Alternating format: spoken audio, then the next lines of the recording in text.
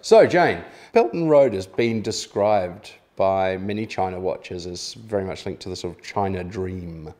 Do you think China's dream can become Australia's dream? Look, China's dream is fundamentally about the rejuvenation of the nation and I guess ultimately returning China to what its leaders see as its rightful place at the centre of the world. Uh, I see that primarily in economic terms, not necessarily about it wanting to rule the world. But either way, the idea that Australia and China can share exactly the same dream uh, seems pretty unlikely to me.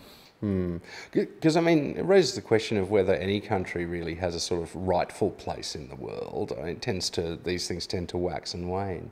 I would have thought that, you know, Belt and Road although it's been described as a great big sort of geopolitical experiment or a sort of transnational, even a transnational coalition, Belt and Road does look in many respects like a bit of a hodgepodge of different projects for, for sort of different purposes. And a lot of China watchers, I think, find it rather difficult to untangle precisely what Belt and Road is and what it's for. What do you think it's for?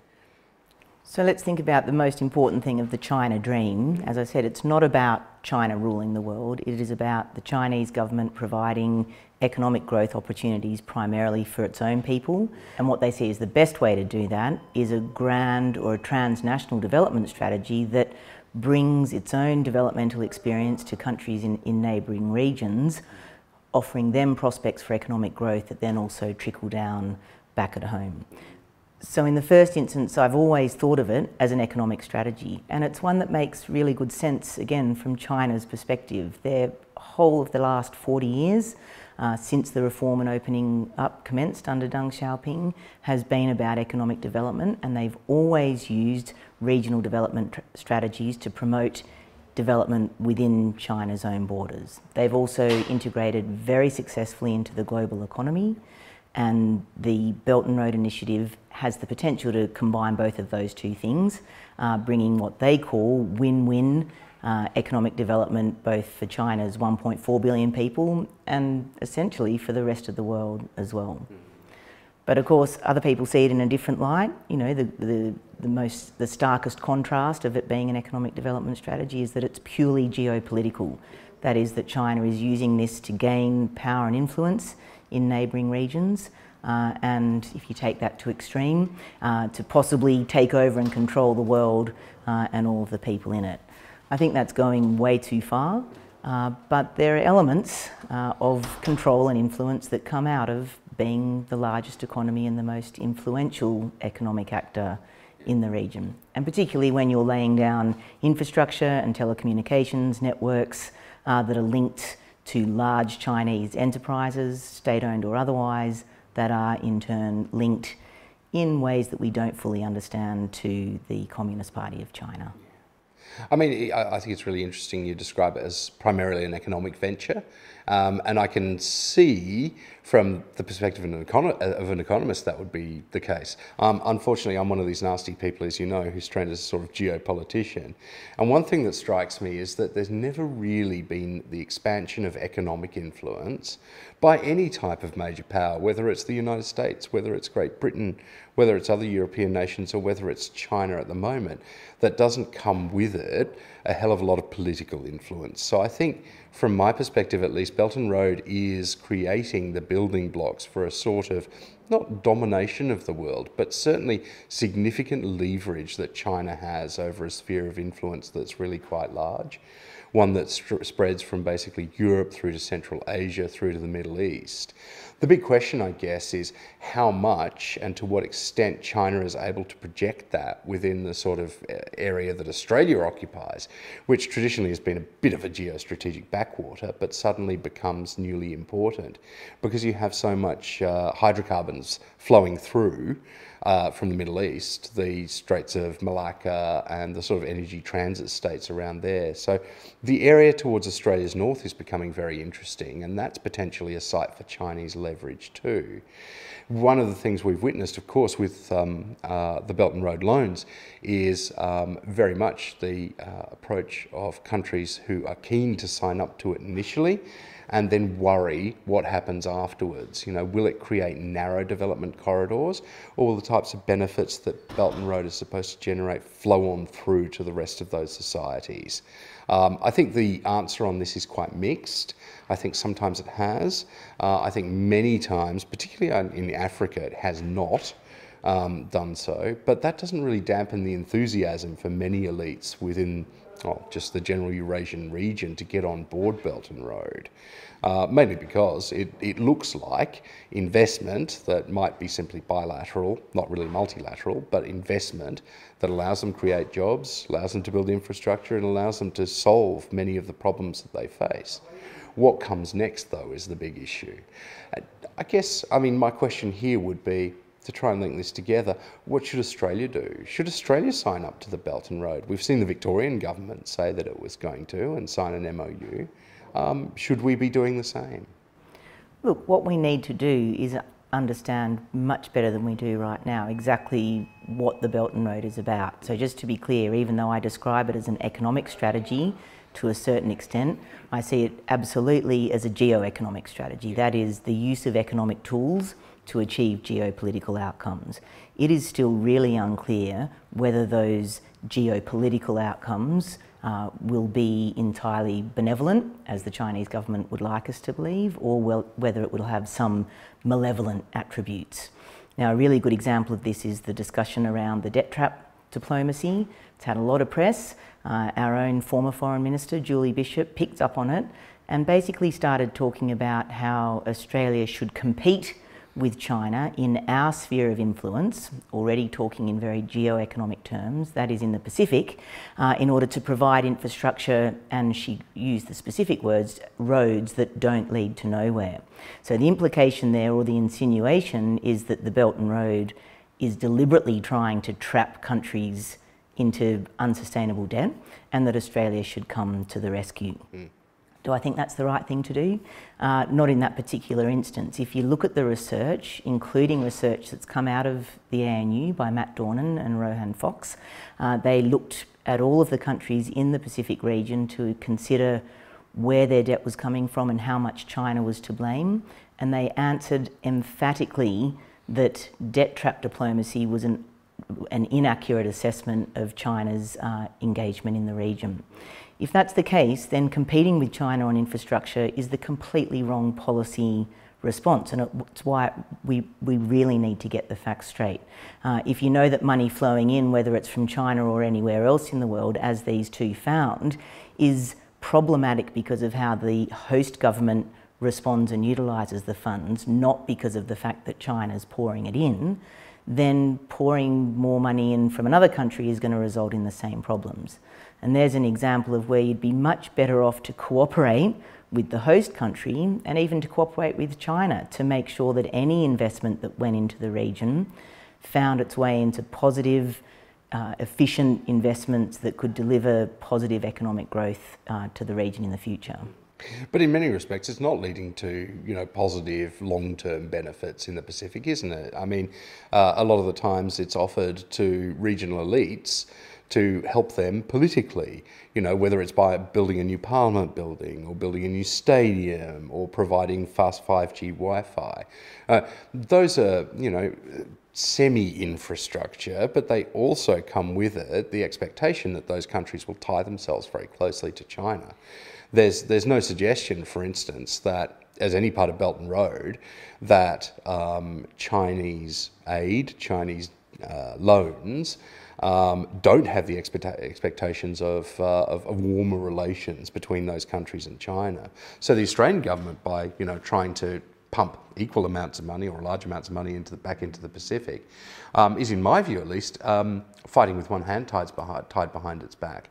Because of course, as a democracy, we stress things like good governance outcomes in places in the Pacific where good governance outcomes are often not desired by the political leadership. So in many respects, I think China has both the uh, economic advantage in that it has more to spend, but it also has the political advantage in that a lot of the, uh, the nations in the Pacific region don't necessarily want the many strings attached development assistance that comes from Australia. And that's what puts China in such a powerful position, and it's why we need to think very carefully about how best to use very limited funds, our aid budget, uh, declining over the last decade or so, and use them in the way that's most effective for aiding development uh, in, in the Pacific region. And so, again, if governance is the problem, we channel our efforts into improving governance, trying to stop China when they're the wealthier country, far more powerful, offering lots of money to people who really need it. We're just not going to succeed there, I don't think. Oh, no, I mean, I completely agree with you. Um, mainly because regional trade architecture has kind of declined with the United States effectively abrogating its, its leadership of, uh, of the trading space, not just within our region, but frankly globally.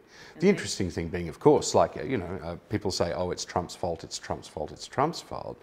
But let's face it, had Hillary won, had Bernie Sanders won, they would have all pulled out of the Trans Pacific Partnership. So, effectively, the type of open trade governance that we've been promoting for years and years and years, since APEC and before, uh, is something that we have to spearhead ourselves with the, the assistance of perhaps Japan.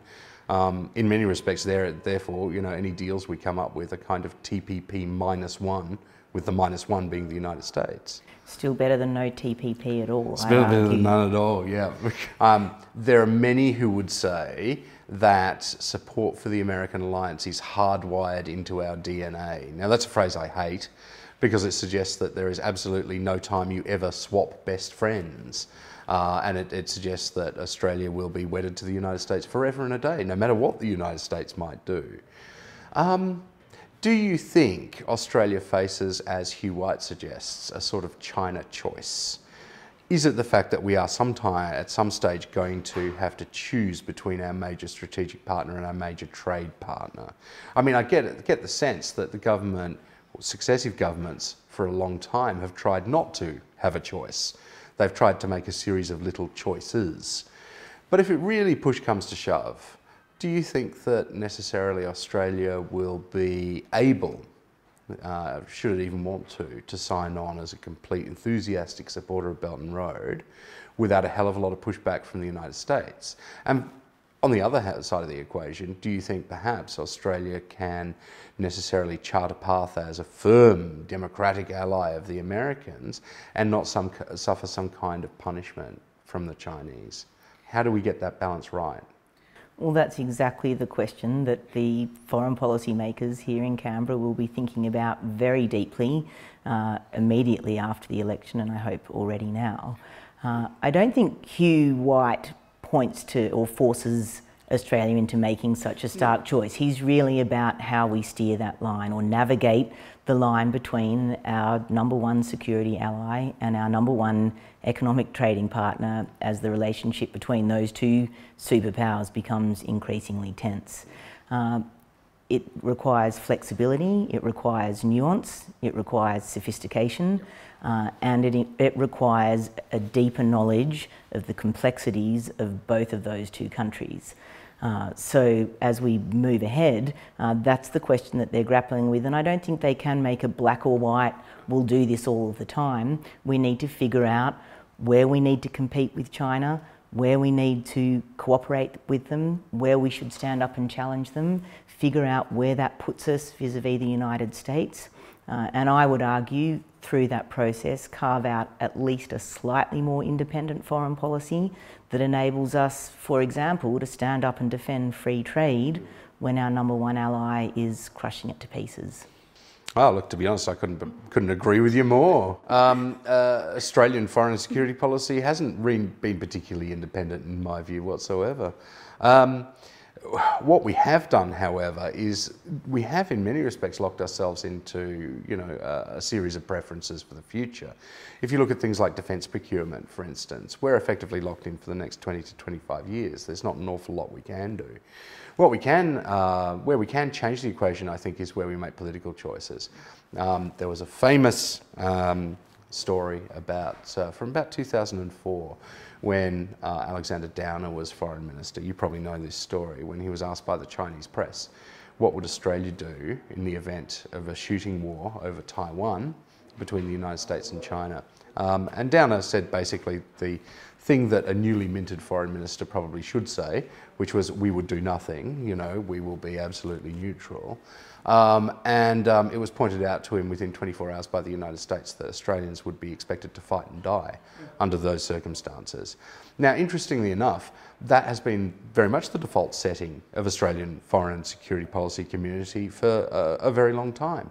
The fact that we're even having this discussion now and that we're raising the question of, well, could Australia in fact be more of a, a, sort of swing player? Because let's face it, under the type of scenarios that are shaping out within our region, as a middle power, Australia should be able to make out like an absolute bandit. Now, middle powers tend to do that. When you have a sort of bipolar configuration within your region, you can play one major power off against one another and therefore avoid those hard choices. Whether we have the flexibility and whether we have the, the, the, capacity really to think outside the square in the way that you're suggesting, to, to be really independent in the types of choices we make, I'm not quite sure. I tend to think that the alliance will be something that we'll be expected to uphold and possibly expected to do so at, our, at the detriment, financial detriment and, and trade detriment of Australians for a while yet. What I think we need to see, and I think, and we're seeing it already here in Canberra, is the people across the university. I mean, with China's rise just in the last few years, there's been so many more conversations between security and foreign policy people like yourself and economists like me uh, coming together and trying to understand and navigate and provide policy advice to government about how to operate foreign economic and security policy, uh, you know, in this new era that we find ourselves in. Uh, what I'm talking about here is geoeconomics, and we both are. We're, we're, understanding the economics and the security overlap in complex ways that none of us fully understand, but we're sitting in exactly the right place to get that right uh, in the years ahead.